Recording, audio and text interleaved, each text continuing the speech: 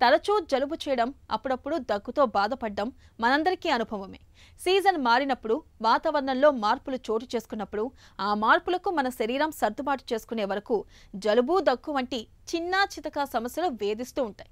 దీర్ఘకాలిక జబ్బులతో బాధపడే వారికి జలుబు దగ్గు బాధలే పెద్ద సమస్యలుగా మారుతూ ఉంటాయి. జలుబు దగ్గుతో బాధపడుతున్నప్పుడు ఆ బాధల నుంచి ఉపశమనం కోసం నిత్యం కొన్ని ప్రత్యేకమైన యోగాసనాల్ని సాధన చేస్తే మంచి ఫలితం ఉంటుందని చెబుతారు నిపుణులు. జలుబు దగ్గు బాధల్ని తగ్గించే యోగాసనాలు వాటి సాధనలో మెలకువల గురించి ఇప్పుడు తెలుసుకుందాం.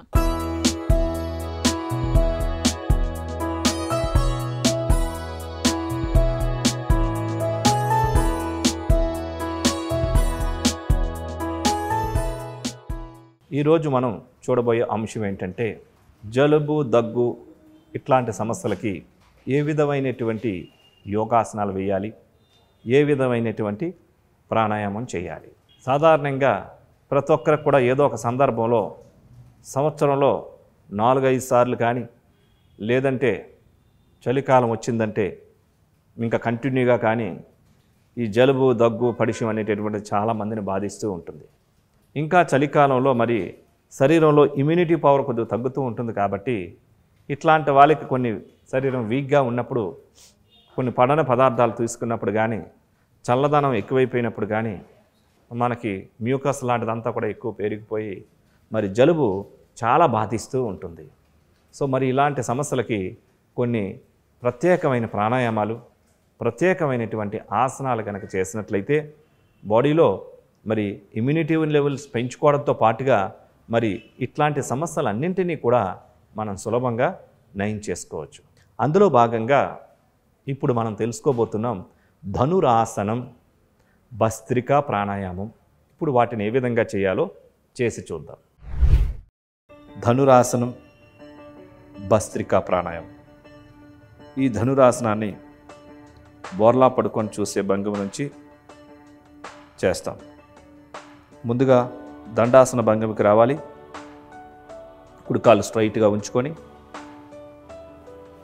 కుడికాలు జతలో ఎడంకాలు కూడా తెచ్చుకొని శవాసన భంగిమకి రావాలి.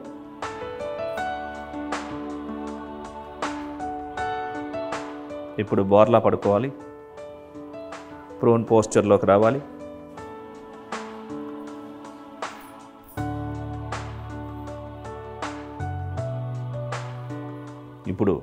రెండు కాళ్ళని ఫోల్డ్ చేసి రెండు చేతులతో కాళ్ళ మడాల భాగం దగ్గర పట్టుకోవాలి.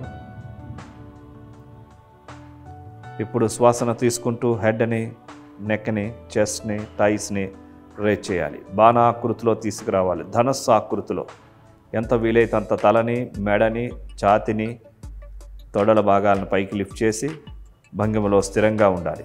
One two three four five six seven eight nine ten eleven twelve thirteen fourteen fifteen sixteen seventeen eighteen nineteen twenty.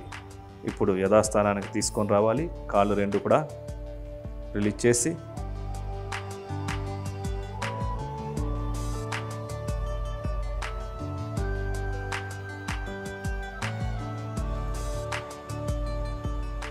ఇప్పుడు ఎడం ప్రక్కకు తిరిగి లేచి కూర్చోవాలి.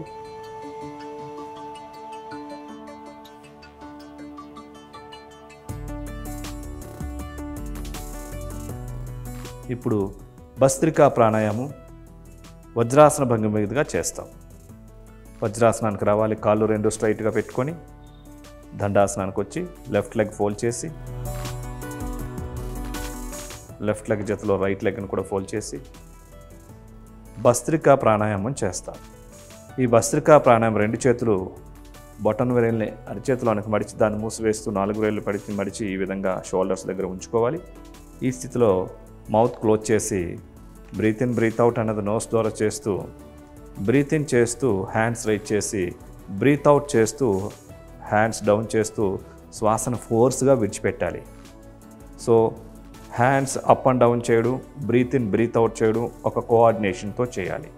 ఫ్రీ మూమెంట్తో చేయాలి? Ready start one two three four five six seven eight nine ten eleven twelve thirteen fourteen fifteen sixteen seventeen eighteen nineteen twenty twenty one twenty two twenty three twenty four twenty five twenty six twenty seven twenty eight twenty nine thirty ఇప్పుడు వజ్రాసనం నుంచి బయటికి రావాలి.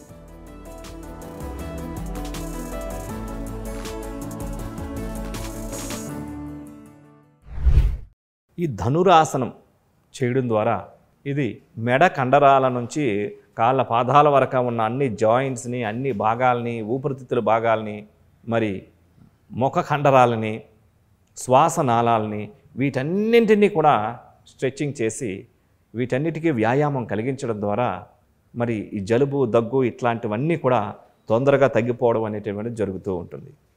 అంతేకాదు ఈ ధనురాసనం చేయడం ద్వారా పొట్ట కూడా తగ్గుతుంది. ఈ ధనురాసనం చేయడం ద్వారా ఊపిరితిత్తుల యొక్క సామర్థ్యం పెరుగుతూ ఉంటుంది. ఈ ధనురాసనం చేయడం ద్వారా మరి ఈ ముఖ కండరాలు ముఖ కవలికలు ఏవైతే ఉన్నాయి గొంతు దగ్గర భాగాలు థైరాయిడ్ గ్లాండ్ ఇవన్నీ కూడా స్ట్రెచ్చింగ్ జరిగి యాక్టివేట్ అయ్యి ఎనర్జైజింగ్ అయ్యి హెల్దీగా తయారవుతాయి. అదేవిధంగా పొట్టను తగ్గిస్తుంది. అదేవిధంగా మోకాల నొప్పులు మరి ఇట్లాంటి వాటన్నిటికి కూడా ఈ ధనురాసనం ఎంతగానో ఉపయోగపడుతుంది. ఇకపోతే భస్త్రికా ప్రాణాయామం. ఇది పూర్తిగా ఊపిరితిత్తుల యొక్క సామర్థ్యాన్ని బాగా పెంపొందింపచేస్తుంది. అదేవిధంగా బాడీలో ఉన్న టాక్సిన్స్ని బయటికి పంపించేయడం జరుగుతూ ఉంటుంది. అలాగే ముక్కు నాసికా రంధ్రాలని కూడా శుద్ధి చేయడం జరుగుతూ ఉంటుంది. వీటితో పాటుగా ఇంకొన్ని సూర్యముద్ర లాంటివి ఇంకొద్దిగా ప్రాణముద్ర లాంటివి కపాల భాతి లాంటివి సూర్య నమస్కారాలు ఇవన్నీ కూడా చేసినట్లయితే శరీరానికి మరింత శక్తిని పెంపొందింపచేసి ఇట్లాంటి సమస్యల నుంచి సులభంగా బయటపడవచ్చు. చూసారు కదండి? జలుబు దగ్గు సమస్యలకి ధనురాసనం మరియు భస్త్రికా ప్రాణాయామం ఏ విధంగా చేయాలో చేశారు కదా? వీటిని అవసరం ఉన్నటువంటి వాళ్ళు ఈ రకమైనటువంటి సాధన చేసి పూర్తిగా ఆరోగ్యాన్ని పొందవచ్చని కోరుకుంటున్నాను.